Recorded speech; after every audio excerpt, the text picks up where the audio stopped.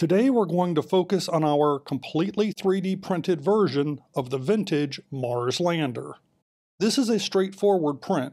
All the instructions are clearly laid out on the Thingiverse site, and I'll leave a direct link down below. No supports are needed, they are perfectly built into the design. The only non-printed part in this build is a D-E engine mount that I bought, built, and installed separately.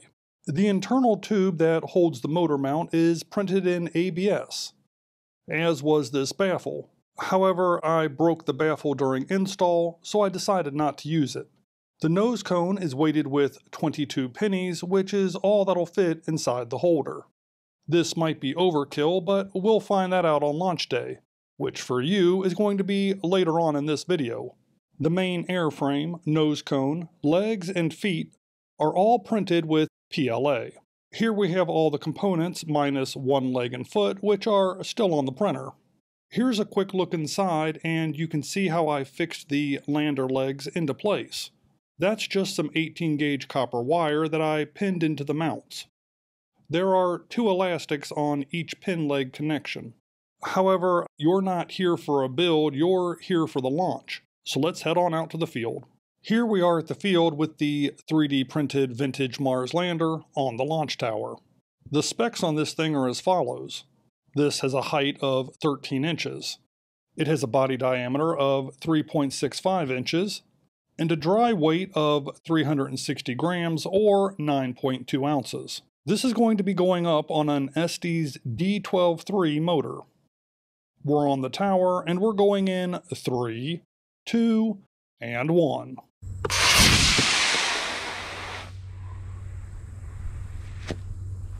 We have a low short flight, perfect parachute deployment.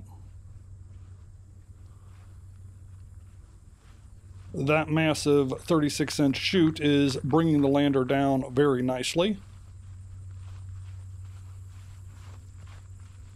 and it looks like we're going to go just into the weeds. Let's go check this thing out. There's the lander on its side, to be expected since we're deep in the weeds here.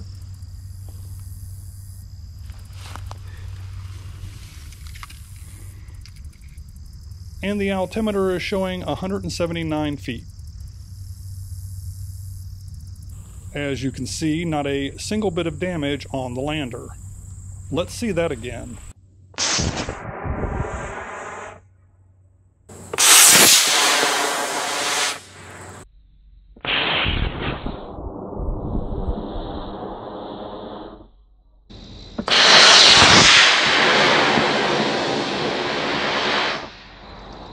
So there we have it. That's our very first test of the completely 3D printed Mars lander. Next time we're going to put an E-motor in this thing and we'll see what happens. So if you enjoyed this video and you're actually still watching, how about you like and subscribe and I'll bring you more rocket content as I get time. Thanks for watching, and maybe, just maybe, I'll see you on the next video.